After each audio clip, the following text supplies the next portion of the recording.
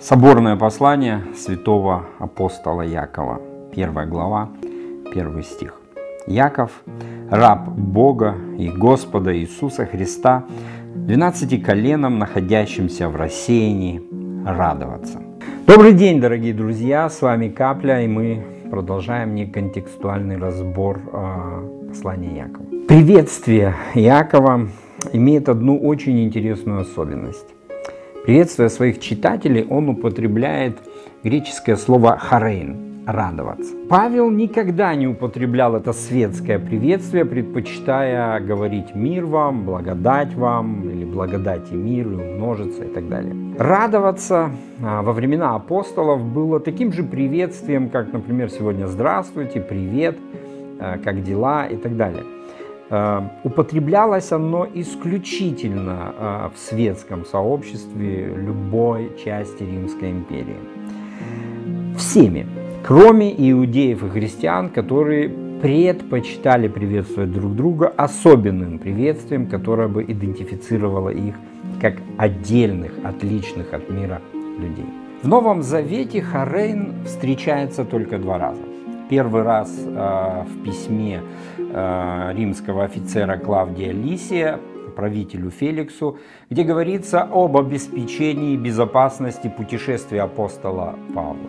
Деяние 23 глава, 26 стих. Клавдий Лисий, достопочтенному правителю Феликсу, радоваться. Второй раз это слово употребляется в заключительном обращении после Иерусалимского собора где церквям сообщалось о том, что язычникам можно входить в церковь, становиться ее частью, и не налагалось на них каких-то особых а, предписаний, которые были близки иудеям. Деяние 15 глава, 23 стих. «Написав и вручив им следующее. Апостола и пресвитеры и братья, находящимся в Антиохии, Сирии, Киликии, братьям из язычников радоваться». Это интересный факт, потому что на этом соборе Яков как раз-таки и председательствовал.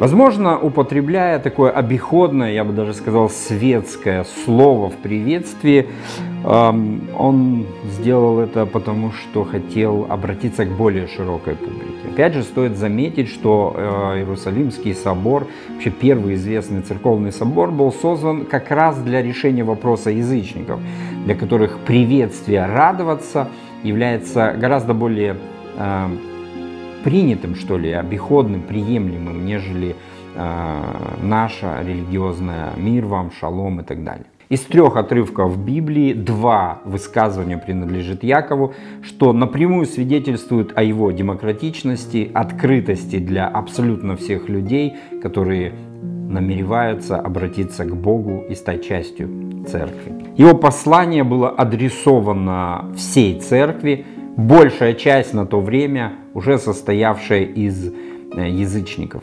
Церковь уже развивалась не только а, в ближайшем окружении от Иерусалима. Церковь была в Месопотамии, Греции, Риме и даже доходили слухи о том, что верующие появились даже в Италии. Яков пишет всей церкви, и поскольку большая часть ее составляют уверовавшие из язычников, он употребляет приветствие, которое обращается ко всем. Как вы считаете, насколько мы должны быть понятными этому миру? Может быть, стоит изо всех сил изолироваться, чтобы не быть его частью?